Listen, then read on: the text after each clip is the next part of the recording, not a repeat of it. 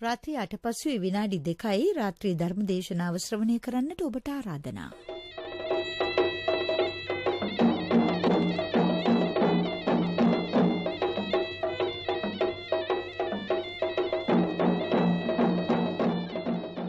ධර්මානුශාසනාව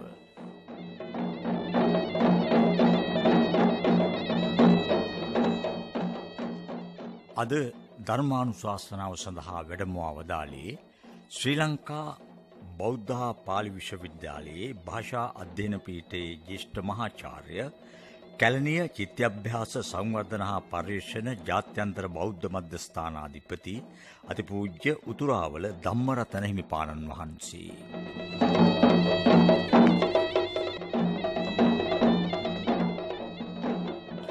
සමත භාවනා විදර්ශනා වැඩීමට උපකාරී වන අයුරු පිළිබඳවයි දේශකයන් වහන්සේ ධර්මානුකූලව අපට පෙන්වා දෙන්නේ.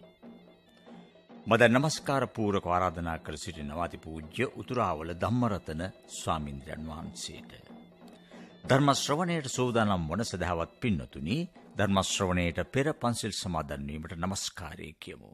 අවසරයි ස්වාමින් වහන්ස සාධ සාධ සාධ. නමෝතස්ස භගවතු අරහතු සම්මා සම්බුද්ධස්ස නමෝතස්ස භගවතු අරහතු සම්මා සම්බුද්ධස්ස නමෝතස්ස භගවතු අරහතු සම්මා සම්බුද්ධස්ස බුද්ධං සරණං ගච්ඡාමි. බුද්ධං සරණං ගච්ඡාමි. ධම්මං සරණං ගච්ඡාමි. ධම්මං සරණං ගච්ඡාමි. සංඝං සරණං ගච්ඡාමි. සංඝං සරණං ගච්ඡාමි. ဒ ුතියම්පි බුද්ධං සරණං ගච්ඡාමි ဒ ුතියම්පි බුද්ධං සරණං ගච්ඡාමි තියම්පි ධම්මං සරණං ගච්ඡාමි ဒ ුතියම්පි ධම්මං සරණං ගච්ඡාමි. තියම්පි සංඝං සරණං ගච්ඡාමි. ဒ ුතියම්පි සංඝං සරණං ගච්ඡාමි. තියම්පි බුද්ධං සරණං ගච්ඡාමි තතියම්පි බුද්ධං සරණං ගච්ඡාමි තියම්පි ධම්මං සරණං ගච්ඡාමි තතියම්පි ධම්මං සරණං ගච්ඡාමි. තතියම්පි සංඝං සරණං ගච්ඡාමි. තතියම්පි සංඝං සරණං ගච්ඡාමි. පානාතිපාතා වේරමණී සික්ඛාපදං සමාදියාමි. පානාතිපාතා වේරමණී සික්ඛාපදං සමාදියාමි. දින්නාදානා වේරමණී සික්ඛාපදං සමාදියාමි. අදින්නාදානා වේරමණී සික්ඛාපදං සමාදියාමි. කාමේසු මිච්ඡාචාරා වේරමණී සික්ඛාපදං සමාදියාමි. කාමේසු මිච්ඡාචාරා වේරමණී සික්ඛාපදං සමාදියාමි. මුසාවාදා වේරමණී සික්ඛාපදං සමාදියාමි. මුසාවාදා වේරමණී සික්ඛාපදං සමාදියාමි. සුරාමේරය මජ්ජපමාදට්ඨානා වේරමණී සික්ඛාපදං සමාදියාමි සුරාමේරය මජ්්‍යපමාදට්ඨානා වේරමණී සික්ඛාපදං සමාධයාමි සමන්තාචක්කවාලේසු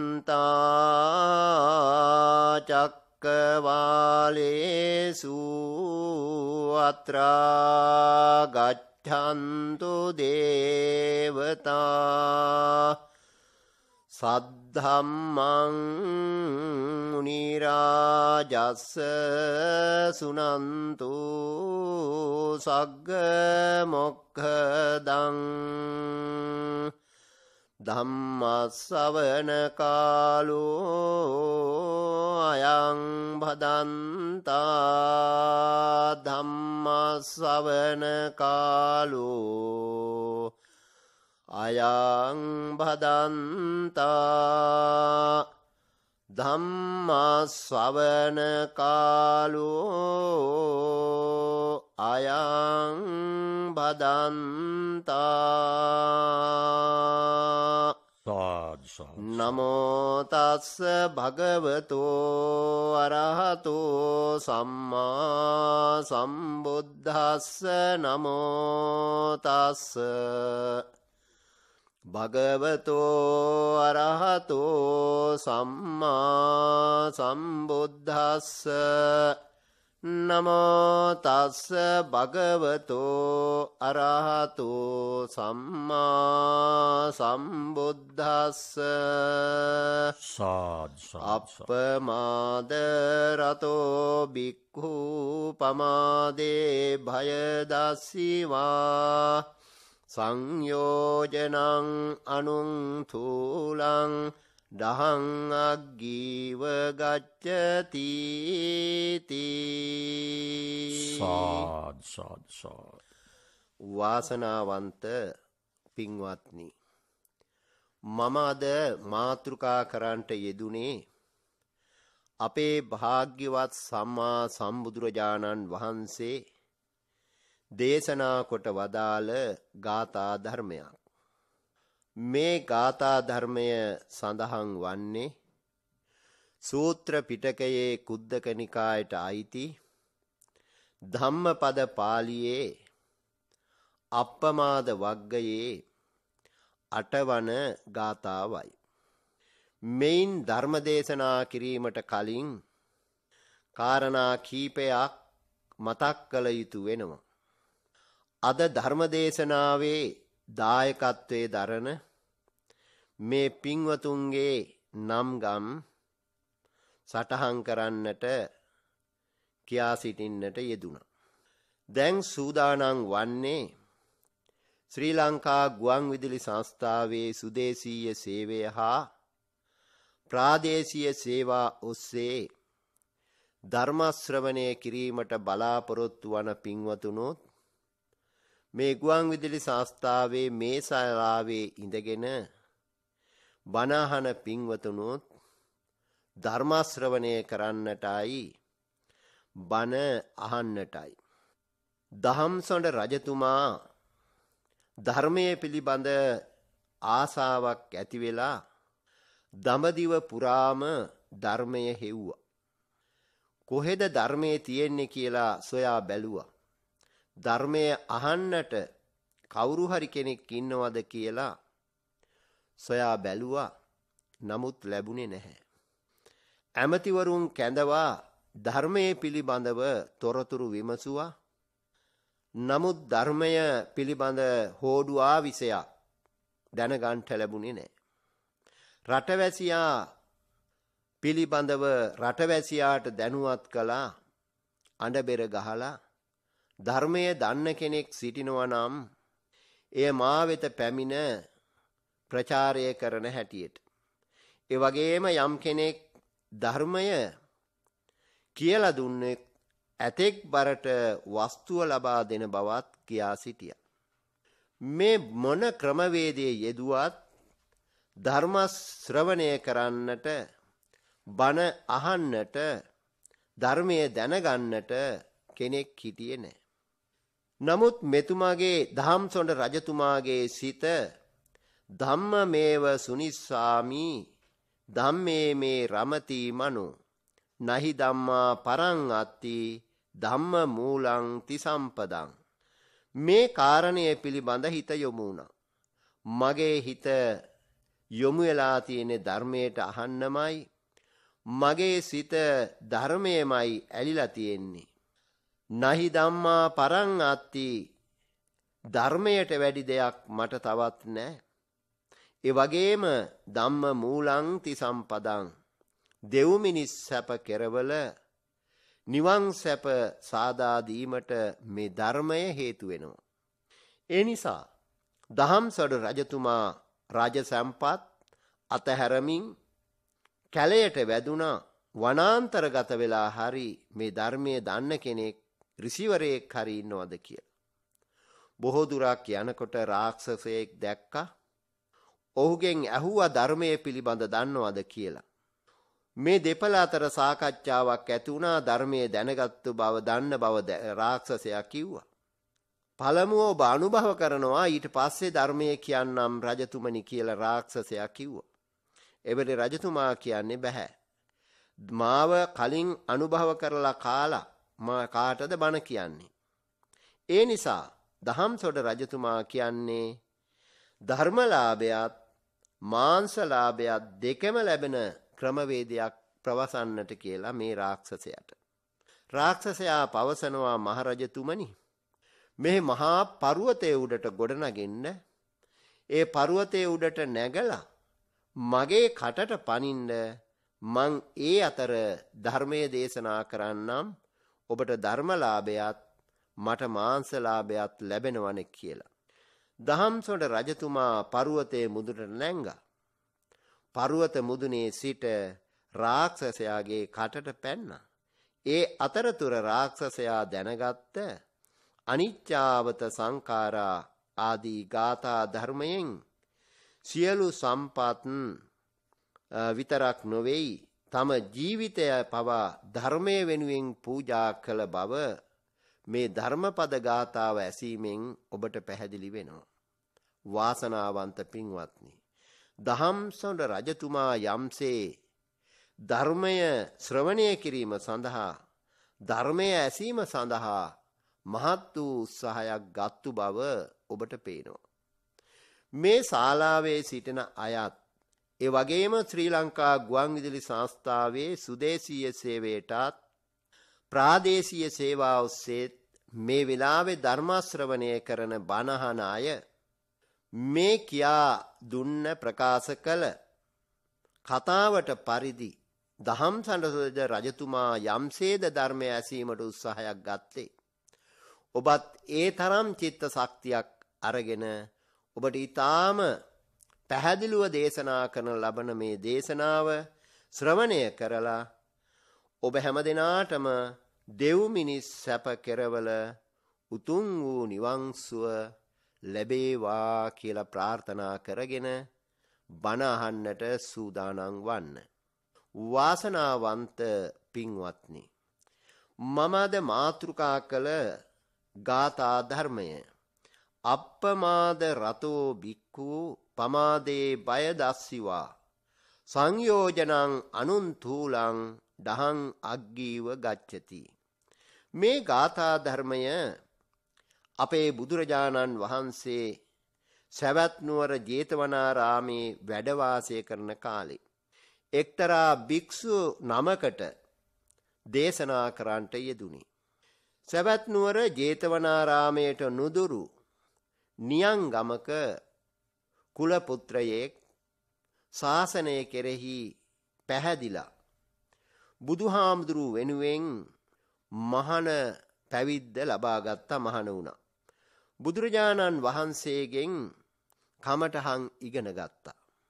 මේ හාමුදුරුවෝ ඊ타ම අල්පේච්ඡතා ගුණයෙන් යුක්තව කටයුතු කළා සැහැල්ලු දිවි පැවතුම් ගත කළා. ඒ වගේම මේ හාමුදුරුවෝ ලද දෙයින් සතුටටපත් වුණා. ඒ වගේම නියංගම ඇසුරු කරගෙන වනරොදෙහි කාලය ගත කළා විවේකයෙන් යුක්තව. පටන් ගත්ත වීරියෙන් යුක්තයි. ඒ වගේම පිඬුසිඟා තමයි දන් වළඳලා මේ කටයුත්ත කෙරෙහි සිත යොමු කරන්නට යෙදුනේ භාවනාව පිළිබඳ. බුදුරජාණන් වහන්සේගෙන් කමටහං ඉගෙන ගත්තා. මේ මහා වනාන්තරයේ භාවනා කළා. හැබැයි රහත් වුණේ නැහැ. උත්සාහයක් දරුවා. නැවත නැවතත් කමටහන් ඉගෙන ගන්න අදහසින් යුක්තව සවැත් නුවර ජේතවනාරාමයේ බලා මේ භික්ෂුව ගමන් කළා. මහ කැලෑ මැද්දෙන් දුර බැහැර ජේතවනාරාමයේ බලා ගමන් කරන හාමුදුරුවන් වහන්සේ දවස් දෙක තුනක් මැදින් කැලේ වැඩම කරන විට මහා ලැව්ගින්නක් අතරමගදී හමු වුණා දකින්ට ලැබුණා.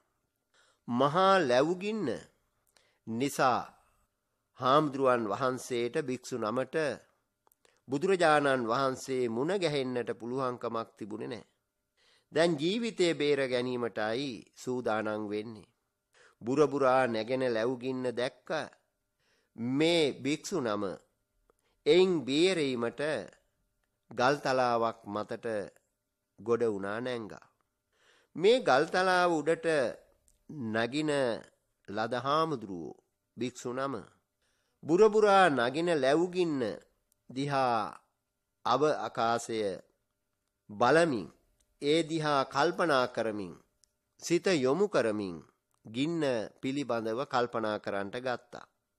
මේ බුරබුරා නගින මහත් වූ ලැවුගින්න ලොකු කුඩා දර පරරලා දවමින් පැතිරීගෙන යනවා. ඒ ගින්න ආදර්ශයට අරගෙන උපමාවට අරගෙන මේ භික්ෂු නම කල්පනා කරනවා. අන්න ඒ වගේම ආර්ය මාර්ග නැමති ගින්නත් ලොකු කුඩා සසර බැඳීම් දවා දනවා. හරියට එය ආර්ය මාර්ගය අනුව ගමන් කරමින් අපේ හිතේ තිබෙන කෙලෙස් ධර්ම විනාශ කරලා පුච්චල දමන්න වගේනේ කියලා. මෙන්න මේ අදහස අර හාමුදුරුවන් වහන්සේට නැගෙනවාත් සමගම බුදුරජාණන් වහන්සේ සිත යොමු කළා.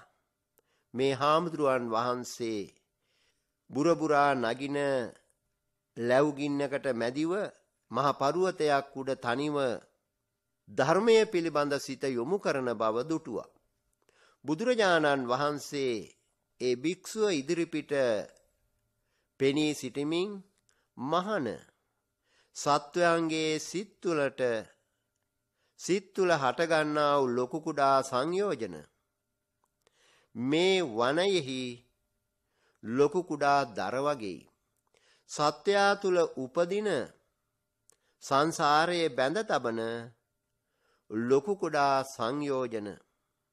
ආර්ය මාර්ග නැමැති මේ ගින්නෙන් දවාලන්න පුළුවන් කියන කාරණය දක්වමින් ඒ භික්ෂු නම ඉදිරිපිට පෙනී සිටමින් මම මුලින් මාතෘකා කළ ගාථා ධර්මය දේශනා කරන්නට යෙදුනා ඇහෙන්ට සැලැස්සුවා.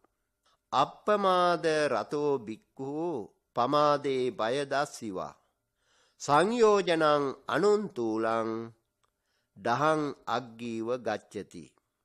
පින්වත්නි මේ ගාථා ධර්මය අපිට වැදගත් පණිවිඩයක් දේශනාවක් ධර්මයක් බුදුරජාණන් වහන්සේ දේශනා කරන්නේ.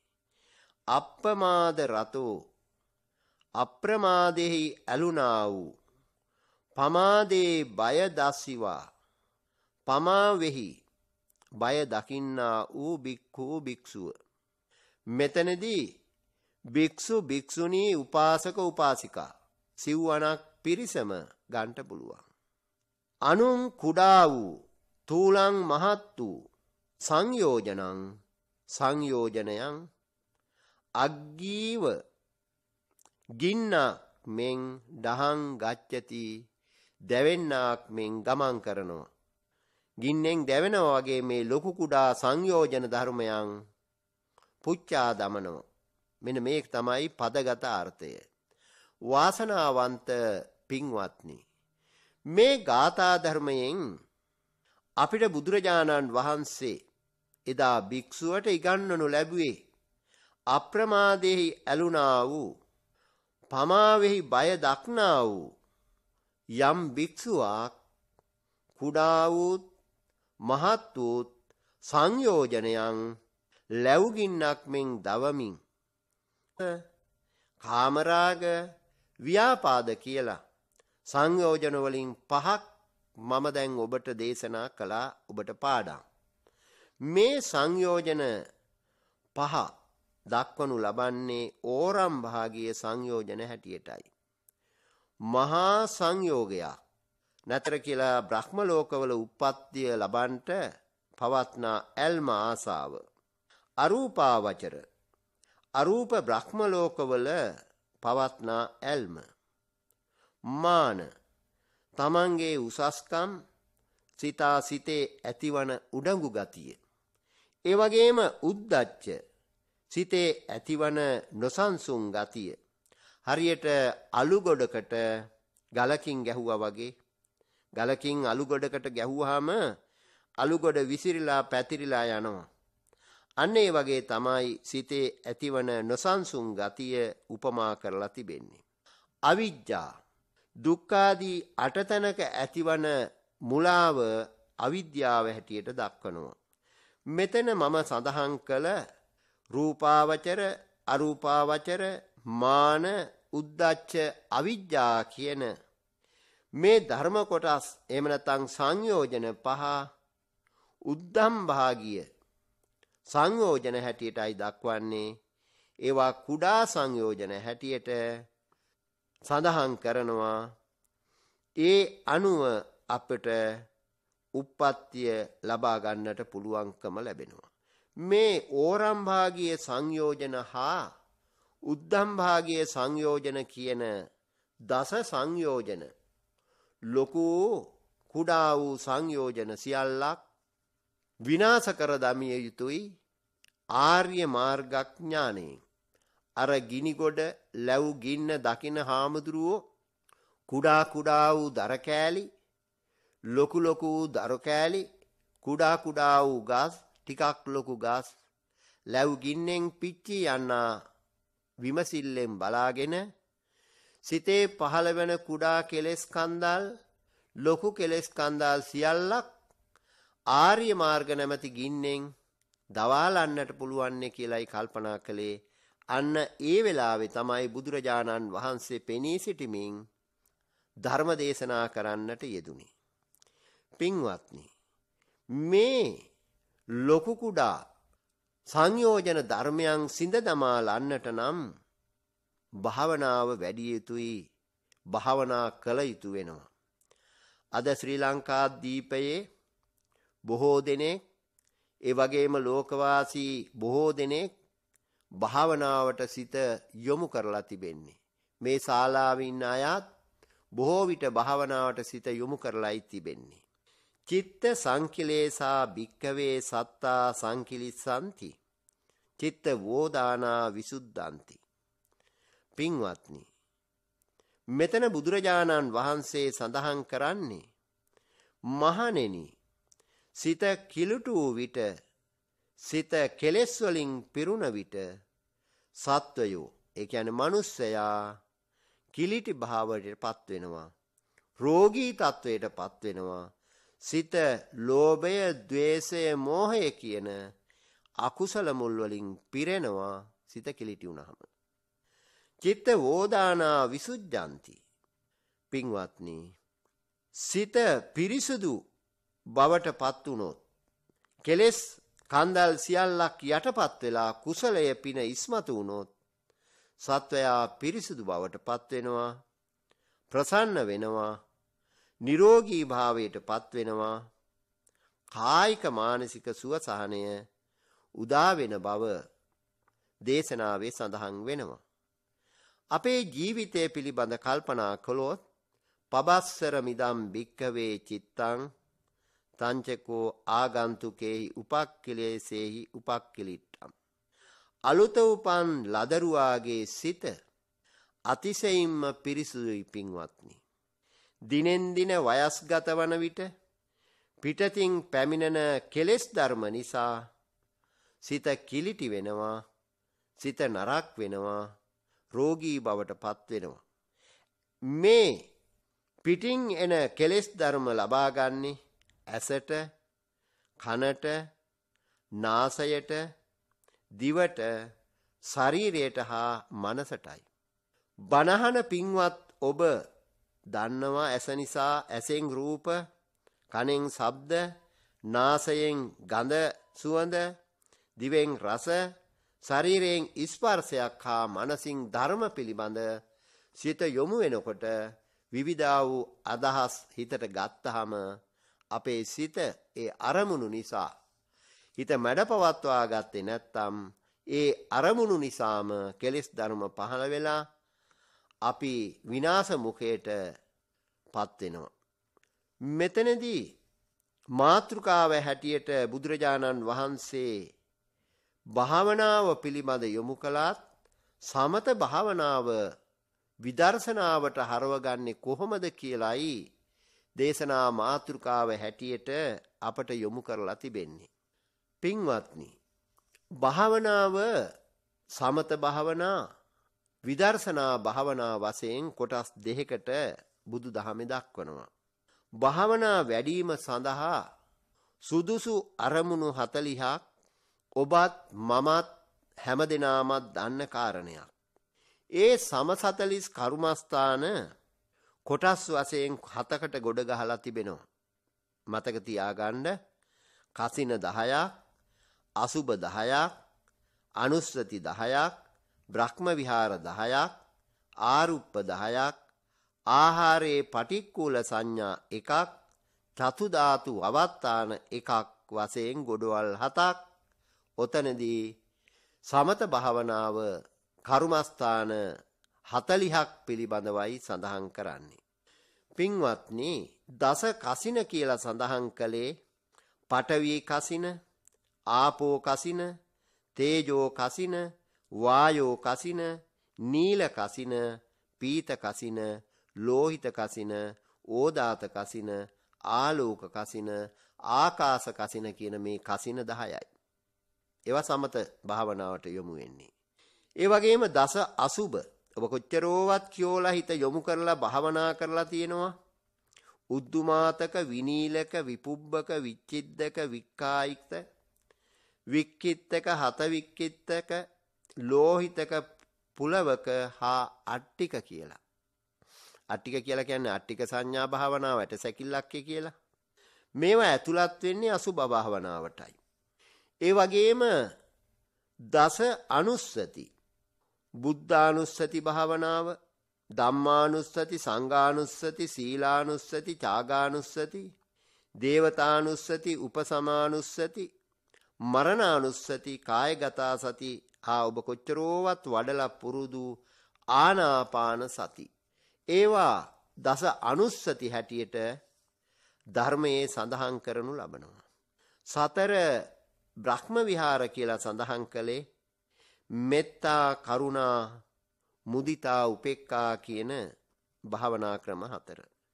සතර ආරූප හැටියට දක්වලා තිබෙන්නේ සමත භාවනාවෙහි ආකාසානංචායතන විඤ්ඥානංචායතන ආකින්චඥායතන නේව සංඥා නා සංඥායතන. එවගේම ආහාර පටික්කූල සංඥාව කියලා කිව්වේ ආහාරයෙහි නැත්තන් ශරීරයේ යැපීමට ගන්නා කබලින්කා ආහාරයෙහි පිළිකුල් බව සිතීමයි. තතු ජාතු අවත්තාන ජීවාජීව ලෝකය පටවී ආපෝ චේදෝ වායෝ කියන ධාතු කොටස් හතරට බෙදිලා තියෙනවයි කියලා සිත යොමු කර ගැනීම භාවනා කිරීම මෙන්න මේ දැන් වචන වශයෙන් ප්‍රකාශ කරන්නට යෙදුන නම් ගම් වශයෙන් ප්‍රකාශ කරන්නට යෙදුනේ සම සතලිස් කර්මස්ථාන භාවනයි. සම සතලිස් කර්මස්ථාන භාවනා වැඩීම සඳහා මේ පින්වත් පිරිස යොමු වෙන්නට ඕනේ. ස්වකීය චරිතයට ඔබේ චරිතයට අනුව මේ කර්මස්ථාන ලබාගත යුතු බවත් විසුද්ධි මාර්ගයේ නම් ධර්ම ග්‍රන්ථයේ සඳහන් වෙනවා. මෙතන බණහන අයත් ශ්‍රී ලංකා ලෝකවාසී ඔබ බණහන ඔය අතර ගාවත් චරිත හයක් පෙන්නලා තියෙනවා. මොනවද ඒ චරිත හය? රාග චරිත, ද්වේෂ චරිත, මෝහ චරිත, සද්ධා චරිත, බුද්ධි චරිත, විතර්ක චරිත කියලා. චරිත හයක් පින්වත්නි මේ ධර්ම ග්‍රන්ථවල දක්වලා තිබෙනවා. අපිට අපේ චරිතය දැනගන්නට පුළුවන්. රාග චරිතය තියෙන කෙනෙක් ගමන් කරන විට අනුන් පහදන විලාසයෙන් තමයි ගමන් කරන්නේ. සෙමින් සමව පා තබල ගමන් කරනවා. පා මැදින් වැල ගැසී තිබෙනවා. ඉඳුම් හිටුම් හරිම ප්‍රියජනකයි. නිදාගන්නා විට යහන හොඳ හැටි පනවාගෙන අතපය නොවිසරණසේ තැම්පත් කරගෙන නිදනවා. නැගිටෙන කලත් වහාම නැකිටෙනවා කල්පනාකාරීව ප්‍රශ්නයක් ඇහුවොත් පිළිතුරු දෙනවා. අමදින විට ඉක්මං නොවී වැලි රොඩු කුණු විසුරවන්නේ නැතුව ඉතාම හොඳට අතුගානවා. මිහිරි ආහාරපානවලට කැමති වෙනවා රාග චරිතය ඇති කෙනා. වළඳන විට රස විඳිමින් වළඳනවා. ඒ වගේම මිහිරි ආහාරපානයක් ලද විට සතුටට පත් වෙනවා. සුළු ගුණෙහි පවා ඇලෙනවා. දොස් ගණන කොටවත් ගණන් ගන්නේ නැහැ. තමා තුල ඇති දොස් වසා ගන්නවා. ඒ වගේම තමාගේ නැති ಗುಣ කියනවා. තමා සිටින ස්ථානය අලංකාරව තබා ගන්නවා. මෙන්න මේ ඊටාම කෙටියෙන් මම මේ වෙලාවේ රාග චරිතය ලක්ෂණ සඳහන් කළේ කලාත්මක චරිතයක් විදිහට දක්වනවා බණපොතේ. ද්වේෂ චරිතයේ තියෙන කෙනා මේ කියන ලක්ෂණ පොළව හාරන්නක් මෙන් ගමන් කරනවා. පය වහ වහ තබලා ඔසවලා ගන්නවා. ඉක්මනින් ගමන් කරනවා. නිතර නිතර කිපෙන සුළු ගතියෙන් යුක්ත වෙනවා. මුළු ඇඟ අකුලාගෙන මූණ අකුලාගෙන නිදනවා. නැගිටෙන විටත් කෝප වූ සිතකින් යුක්තව තමයි නැගිටින්නේ. කෝප වූ සිතින් යුක්තව තමයි කතා කරන්නේ. මේ විදිහට අනුන්ගේ ಗುಣ ඇති ಗುಣ මකලා දානවා නැති කරලා දානවා නැත්නම් කියන්නට කැමති වෙන්නේ ගුණවතුන්ට නින්දාමුකයෙන් කතා කරනවා අනුන්ගේ සැප සම්පත් ඉවසන්නේ නැහැ කතා කරන්නේ නැහැ මසුරුකම් ආදීව බහුලව තිබෙනවා තමන් හැර යන්නවුන්ට කිසිම අනුකම්පාවක් දක්වන්නේ නැහැ ඒ ද්වේෂ චරිතයයි අපි කියන්නේ හොස්සගාවින් මැස්ස යන්නට බැරි තරමට කේංචි යනවයි කියලා. ඒ ද්වේෂ චරිතයයි. පින්වත්නි, මෝහ චරිතය අවුල් වූ පාගමනකින් තමයි යන්නේ. බියපත් වූ එක් මෙන් ගමන් කරනවා මෝහ චරිතය. අවුල් ලෙස යහන පනවාගෙන අත්පා විසුරුවාගෙන නිදනවා. නැගිටින විට ඊටාම කම්මැලිව තමයි නැගිටින්නේ මොහෝ චරිතය ඇති කෙනා. විචාර බුද්ධියෙන් තොරව කටයුතු කරනවා. හැම වෙලේම මේ චරිතයේ දක්නට ලැබෙන්නේ කම්මැලිකමයි. උඩඟු බව සැකය නුවණින් දැඩි කොට ගන්නවා. වැරදි අදහස් අත්තරින්නෙත් නැහැ. මෙන්න මේ විදිහට යුක්ත වන්නේ මෝහ චරිතය ඇති කෙනයි. භාවනා කම්මට්ටානාචාර්යයන් වහන්සේ නැත්තම් භාවනා උපදේශක දවස් එකක් දෙකක් තුනක් නේවාසිකව භාවනා කරනකොට මේ පුජ්‍යලයන් ආශ්‍රය නිස්රය කිරීමෙන් දැනගන්නවා මෙයාට තිබෙන චරිතය මේකයි ද්වේෂ චරිතයක් රාග චරිතයක් මෝහ චරිතයක් කියලා. සද්ධා චරිතය ලෝභය ද්වේෂය දෙකම නැහැ. පරිත්‍යාගශීලී දානමාන දීමට බොහොම ප්‍රිය කරනවා. ඒ වගේම තෙරුවන්ට බොහොම කැමති, බණ කැමති, සතුටින් සන්තෝෂයෙන් වාසය කරනවා. සද්ධා චරිතය ඇති කෙනා භික්ෂුන් වහන්සේ ඇසුරු කරනවා. දහම් පොත් කියවන්නට කැමති වෙනවා. පැහැදිය යුතු තැන පහදිනවා. කම්මැලිකම් කලකිරීම රහිතයි. මේ සද්ධා චරිත ලක්ෂණයයි. බුද්ධි චරිතය ඇති කෙනා මෝහය දුරු කරලා තියෙන කෙනෙක් හරිම කීකරුයි. කී දේ ඊටාම හොඳින් ඉටු කරනවා හොඳින් අසනවා කල්යාණ මිත්‍රයන් ඇසුරු කරනවා ආහාර පාන පමණ දැන වළඳනවා. මේ බුද්ධි චරිතය ඇති කෙනා. හොඳ සිහිනුවණින් යුක්තව කටයුතු කරනවා. ඒ වගේම යහපත් ගතිගුණ ධර්ම වලින් යුක්තයි. නුවණින් වීරියවන්තව කටයුතු කිරීම බුද්ධි චරිතයාගේ දක්නට ලැබෙන ලක්ෂණයක්. හයවෙනි චරිතය හැටියට සඳහන් කළේ විතර්ක චරිතයයි. කතා කිරීමේ හරිම දක්ෂයි. කුසල් දාම්මේ ඇලිලා කටයුතු කරනවා. යම් කටයුත්තක ස්ථීර බවක් නැහැ. නමුත් චංචලයි. අන්‍යයන් කළ කී දේ එලෙසම පිළිගන්නේ නැහැ. එක වැඩක් එක දිගට කරන්නෙත් නැහැ. විවිධ වැඩවල විවිධ කතාවල විවිධ ක්‍රියාවල බොහෝම විතර්ක අනුකූලව තමයි කටයුතු කරන්නේ. මෙන්න මෙහෙම දහම් පොත්වල සමත භාවනාව වැඩිම සඳහා උගන්නලා තිබෙනවා චරිත හයක් මේ බණහන අය අතර ඔය කියන චරිත සියල්ලක් තියෙනවා. ඔබ මතක තියා ගත්තනම් රාග චරිතයට ඊටාම හොඳ භාවනාව සඳහා අසුබ භාවනාවයි. අසුබ භාවනාව කියලා සඳහන් කළේ දස අසුබ මේ ශරීරයේ පිළිබඳ සිත යොමු කර ගැනීම ඒ වගේම ශරීරයේ දෙසිස් කුණප කොට්ටා සීකිරීම රාග චරිතයට හොඳ භාවනාවක් හැටියට ධර්ම පොත්වල භාවනාවට උපදෙස් දෙනවා. ද්වේෂ චරිතයට හොඳම භාවනාව ඔබට කේන්චි යනවනම් ඔබ ද්වේසහගතව ඊර්ෂ්‍යා සාගත ඔබේ සිත කටයුතු කරනවා නම් ඔන්න හොඳම භාවනාව හැටියට මෙත්තා භාවනාව කරුණා භාවනාව ඒ වගේම මුදිතා උපේක්ඛා කියන භාවනා පිළිබඳ සිත යොමු කරගන්නට ඕනේ. මෝහ චරිතයට හොඳම භාවනාව තමයි ආනාපාන සති භාවනාව. ආස්වාස ප්‍රස්වාස පිළිබඳ හිත යොමු කරගන්නවා.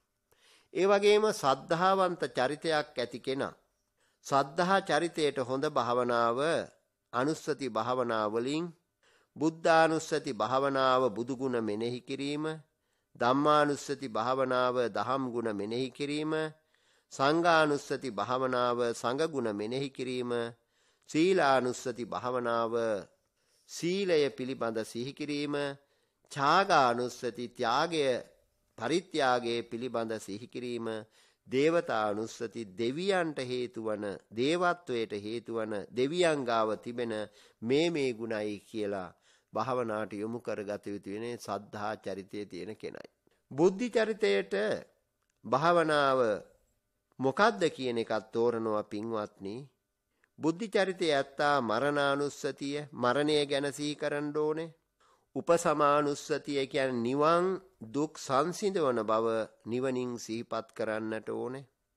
තතු ජාතු අවත්තාන ජීවාදීව ලෝකේහි සතර මහා භූත වවත්තාන භූත හැටියට සිහි කරලා ඒ පඨවි ආපෝ ඡේදෝ වායෝ කියන ඒ භාවනා වඩන්නට හිත යොමු කරගන්නවා. ඒ වගේම ආහාරයේ පටික්කුල සංඥා භාවනාව සිරුර යැපීමට ගන්නා කබලින්කා ආහාර පිළිබඳ සිත යොමු කර ගැනීම මේ බුද්ධ චරිතයට හොඳයි.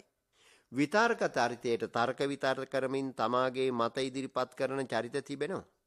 පින්වත්නි එවැනි චරිත සඳහා භාවනාව යොමු කරලා තිබෙන්නේ ආනාපාන සතියයි.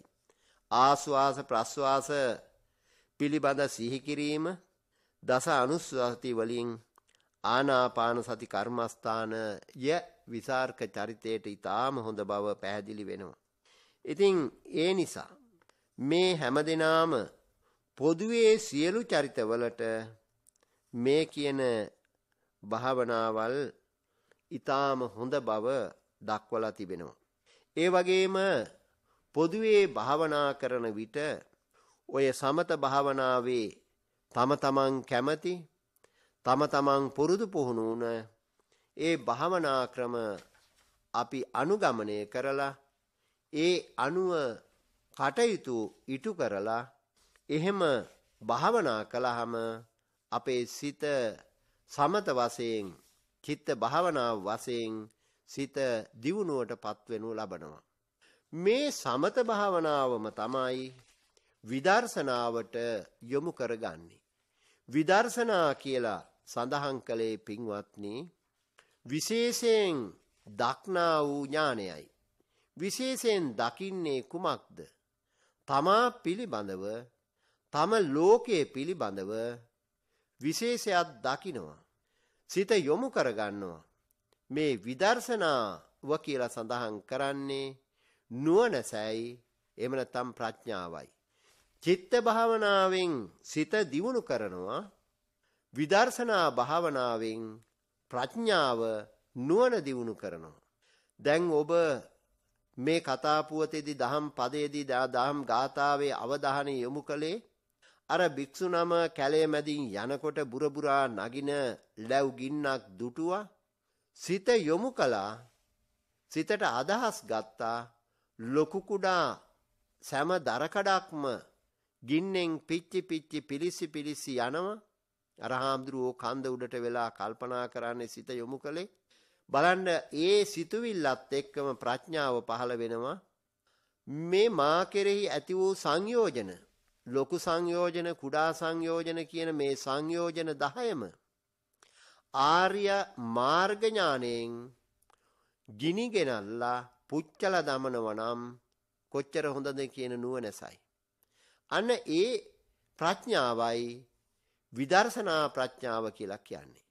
සමත භාවනා වඩලා සිත දියුණු කරගන්න ඔබ ඒ තුලින්ම විදර්ශනාව පිළිබඳ ඔබේ ශරීරයේ පිළිබඳ ලෝකයක් අපිට පෙනෙන මේ ලෝකයක් පිළිබඳව අනිත්‍ය දුක්ඛ අනාත්ම කියන තිලක්ෂණය පිළිබඳ අවබෝධයක් ලබා ගැනීමයි.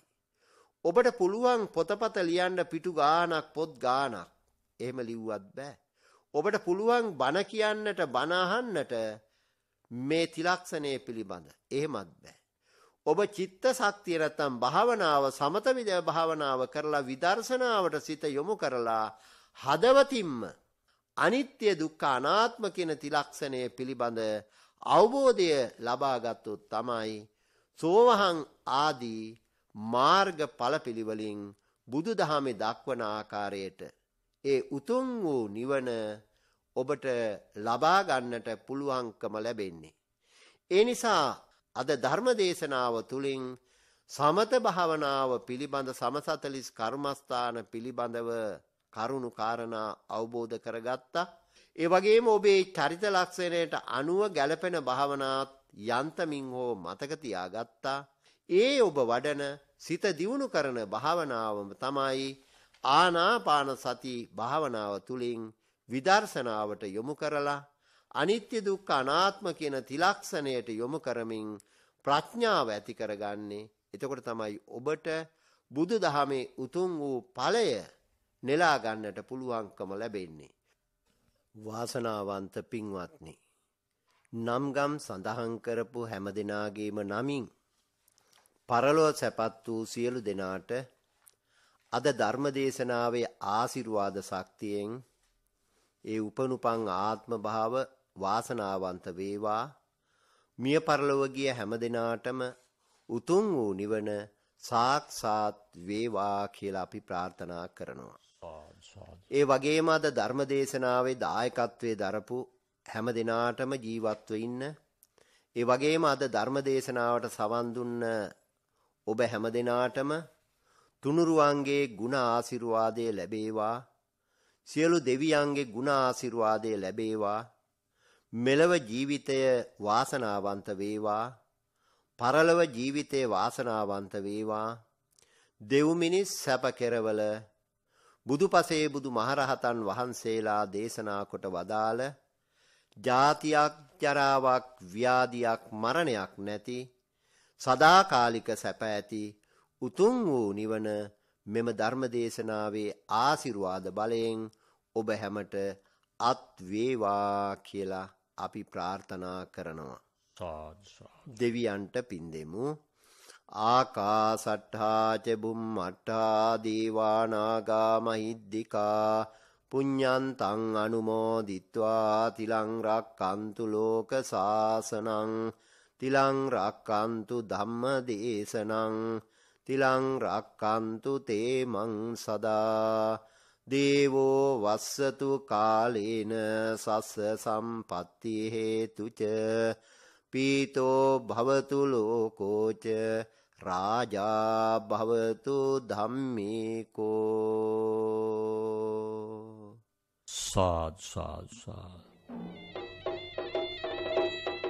අපට දහම් මග කියා දුන් දේශකයන් වහන්සේට ආශිර්වාද කරමු. මෙවන් උතුම් ශාසනික සේවාවන් තවදුරටත් කරගෙන යාමට හැකි ශක්තිය ධෛර්ය ලැබේවා.